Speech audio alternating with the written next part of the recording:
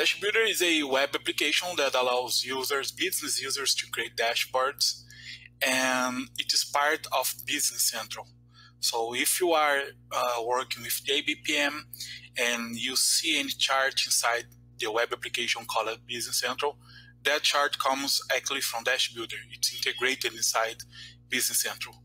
But we also can run, can run Dashbuilder separately using another web application that I will show today. When you access the Content Manager, you can create pages, and each page uh, is composed of this structure, which is based on rows and columns. And the Layout Manager is the tool behind uh, this page editor here. So when you are editing a page, you can add rows, different kind of components that can be placed inside the page. So um, the first one are the static components that makes no use of data. For example, HTML, you can place a piece of HTML inside your page and it will not use data at all. We can also have one page embedded, embedded in other pages using navigation components. So you can um, have reusable pages inside another page. Then we have dynamic components that where the visualization will change according to the data set. So dynamic components are tied to a data set. And finally, we have external components that can be static or dynamic, but important to say that we build these components. So you can um, use your CSS, JavaScript, React uh, abilities to create your own components and then bring to inside your page. And when we use external components, we are free to use any kind of technology. So pages that are created, let's create a new one.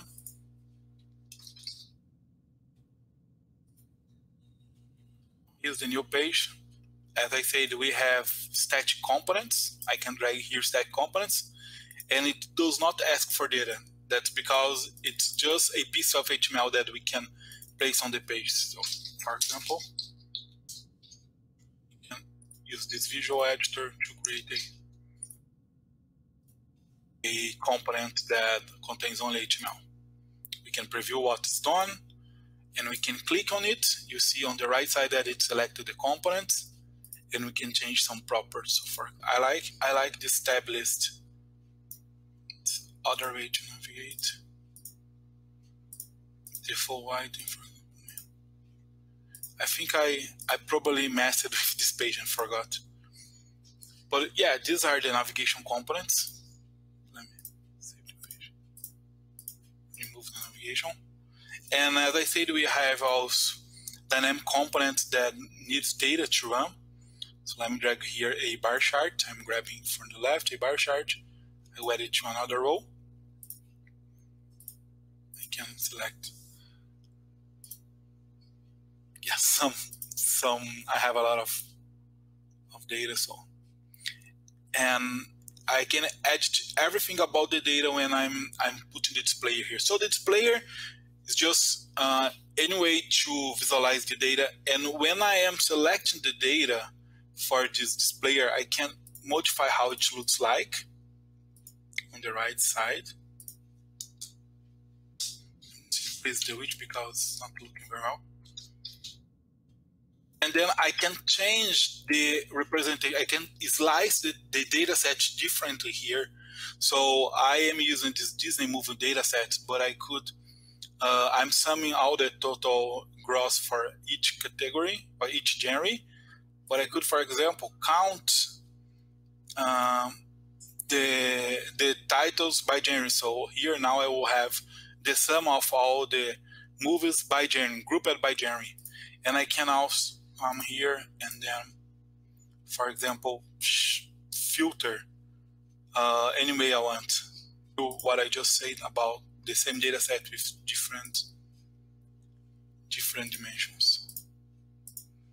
So I have here the, the same data set movies, Disney movies, where I have a list of all the Disney movies. So I add all the moves here. It's the same data set with different uh, report components. So uh, here I have the share by genre. and I can here I count the movies by year. So you can see that in 1995 was the year that Disney most released movies. I think King Lion was released this year or here, I don't know. And then we have here the total uh, gross for each genre.